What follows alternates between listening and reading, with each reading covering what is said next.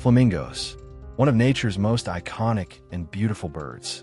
With their striking pink feathers, long, elegant necks, and graceful movements, they've captured the hearts of people all over the world.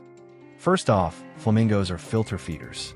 They use their unique beaks, which are specially adapted to sift through the water, filtering out tiny organisms. Despite their elegant look, flamingos are strong flyers. They often migrate in large groups, traveling hundreds of miles to find food and suitable breeding grounds. Flamingos are highly social birds, often found in large flocks that can number in the thousands. They communicate with each other through a variety of sounds and gestures, making sure they stay connected in their massive groups. They born with gray feathers, but their dye of algae and brine shrimp gradually turns them pink.